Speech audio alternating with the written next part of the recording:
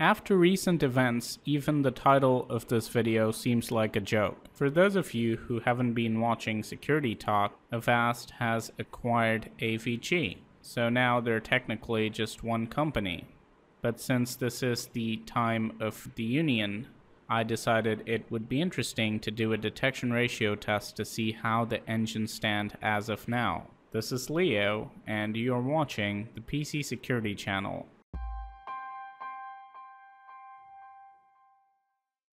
Let's start with Avast. First of all, we're going to show you that the product is up to date and that detection of PUPs is enabled for the scan. Now it's time to check on our malware. So we've got 1,269 items. All of these are fresh from the malware factory. The dates range from somewhere between one week old to just uh, a day old. And now we're going to do the usual context menu scan and let's see how many of these Avast can detect and remove.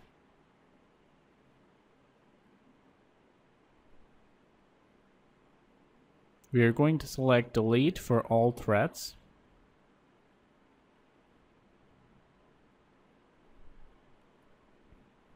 And now it's time to check out the detection ratio after verifying that Avast does not find any more threats.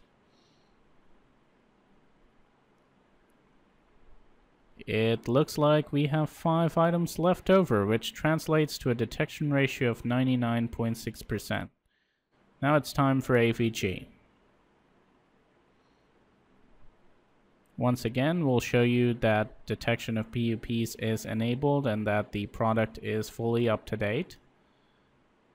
We have the same malware folder with our good old friends here as well.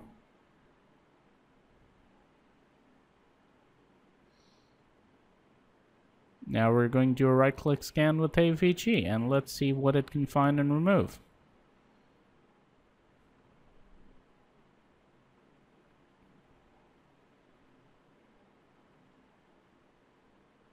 Keep in mind the AVG scanner removal process is much slower than Avast.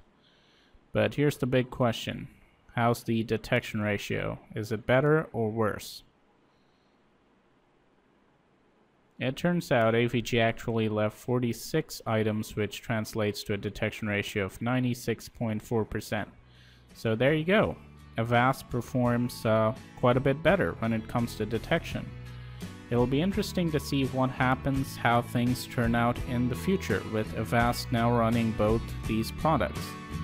So that's going to be it for this video. A big thanks to Joey for helping me perform this test, and thank you all for watching. Do comment down below what are your thoughts on this big development in the security industry. Don't forget to like the video if you did, and subscribe to the PC Security channel. And as always, Stay informed, stay secure.